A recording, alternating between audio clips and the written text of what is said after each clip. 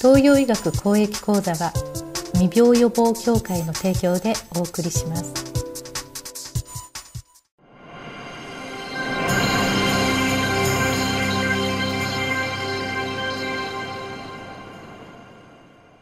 具体的なその防毛問説の主義の話入る前に体本当に健康かどうかって簡単に判断する方法として一つご紹介します。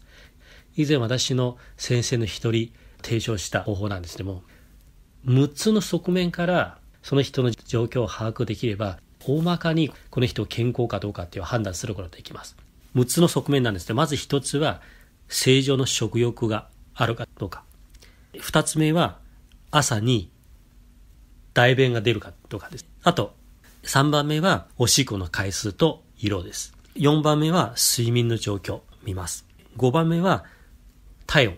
体の冷えがあるかどうかとは確認します。6番目は性的感覚あるかどうかを見ます。じゃ一個一個話していきます。で、まず、その正常の食欲っていう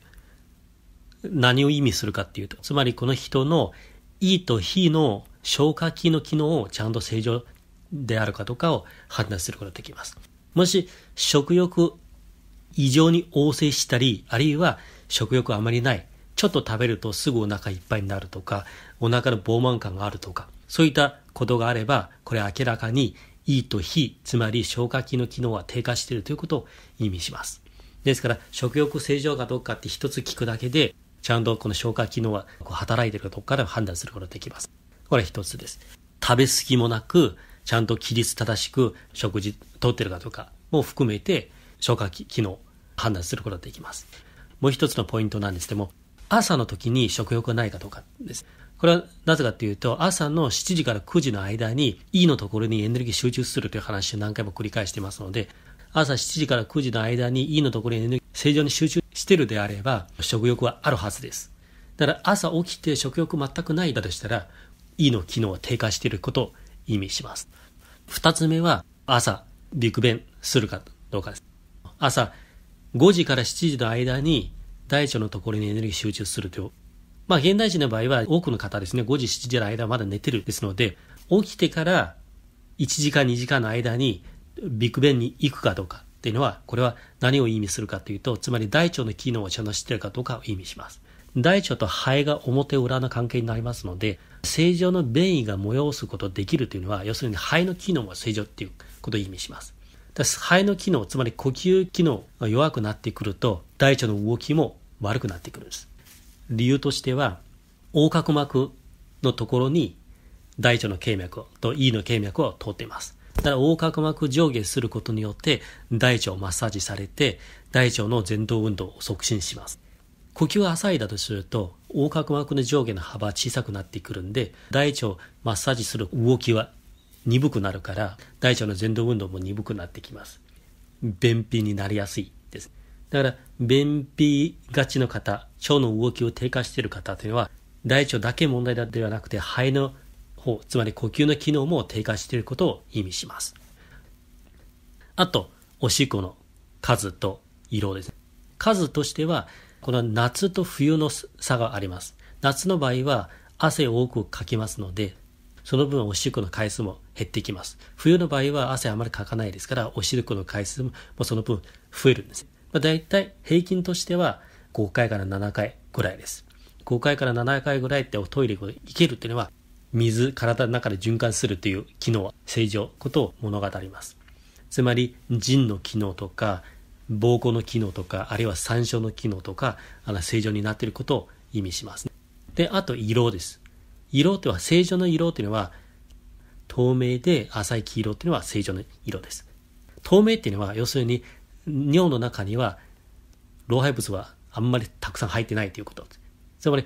濁ってる場合だとすると、質が溜まってるということを意味しますし、白くなったりとか赤くなったり、赤くなったり場合は血液を吐いてるということを意味しますから、あまりよろしくないです。黄色っていうのは、要は熱あるということを意味します。もし無色透明だとすると、体の中に寒気が溜まっていますので、冷えてるということを意味します。で、これも正常ではないです。ちょっと黄色があるだとしたら、あ、これは熱があるということを意味します。でも黄色濃すぎるだとしたら熱をこもっているということを意味しますので、これもよろしくないです。だから、浅い黄色で透明のおしっこの方が一番望ましいです。これで浅い黄色であれば、つまりお腹の方は冷えてないということを意味しますので、お腹冷えてないでしたら小腸の温度は高いということを意味します。で、小腸は正常であること、膀胱が正常であること、腎が正常であること、あと、汚れたものが入ってなければ、肝と胆の機能も正常ということを意味します。おしっこの回数とおしっこの色一つ見るだけで、小腸の機能、膀胱の機能、腎の機能、肝の機能、胆の機能、見ることができます。あと、睡眠の状況です。睡眠っていうのは、まず寝つきがいいかどうかっていうこと。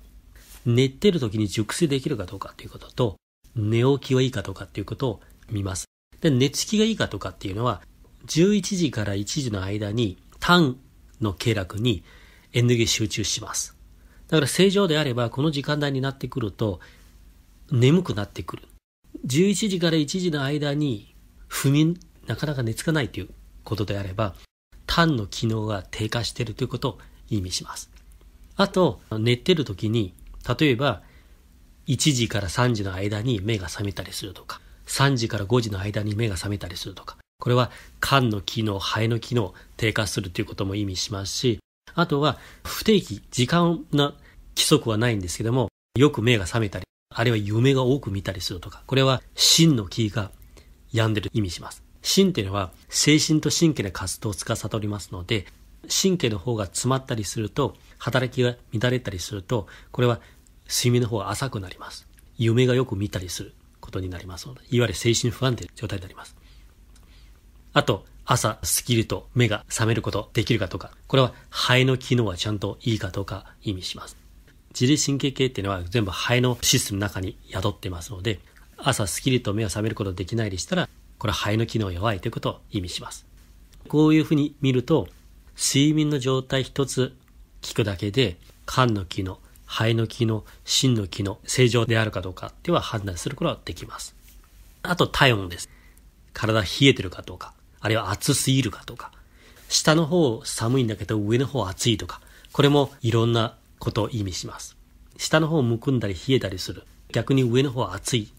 ていう場合は、これは明らかに情熱過過っていうタイプです。つまり、本来はあるべき姿としては、24時間動いて心臓で作った熱をちゃんと下の方に下がっていって、小腸の中に伝わっていって下半身を温めるということは、下半身の中には食事と一緒に入ってくる水は胃とか小腸とか大腸の中にありますから、それを温めることによって水蒸気を上の方に上がってきます。で正常な状態であれば、下の方を暖かくて、頭の方は冷めてるという状態はあるべき姿です。逆に下の方は冷えてて上の方はカカ熱いっていうのは、これも逆のパターン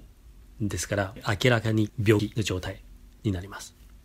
あと、経絡詰まってなければ、末端の手先足先のところにエネルギーをちゃんと行きますので、ポコポコなるはずなんですけども、手足をよく冷えたりするというのは、ちゃんと末端のところに送れないということ。末端のところに送れないでしたら、経絡詰まってることは間違いないですし、あるいは心とか心房の機能、心臓の動き自体が弱いですので、たくさんの熱を作れないということを意味しますし、下半身の方が冷えてってあれば、小腸の機能も低下しているということも意味します。体温一つ聞くだけで、ちゃんと心の働き、心房の働き、小腸の働き、少なくのこの3つの働きをいいかどうかっていうのは見ることができます。あと最後、性的感覚。男性の場合だとすると、朝立ちするかしないかっていうのは、性的能力がちゃんとあるかどうかを意味します。腎とか肝とか男性の成長期のところを通りますので、朝の勃起するという現象はないだとしたら、これ少なくとも腎の機能、肝の機能弱くなっていることを意味します。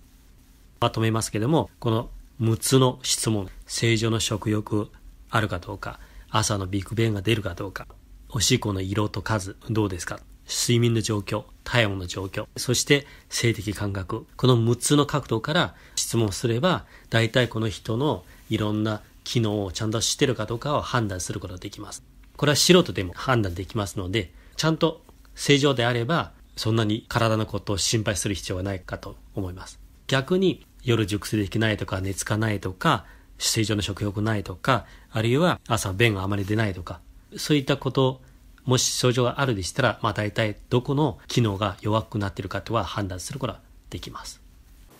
今回の内容はあなたのお役に立てましたでしょうか？東洋医学を暮らしに生かす身近なものとしてこれからもお伝えさせていただきます。もし今日の内容を誰かに知ってもらいたい。誰かのお役に立ててもらいたいと思ったらこの講座をシェアしていただけると嬉しいです。またこの講座の最新号をいち早く見たいという方には YouTube のチャンネル登録がおすすめです。ではまた次回お楽しみに。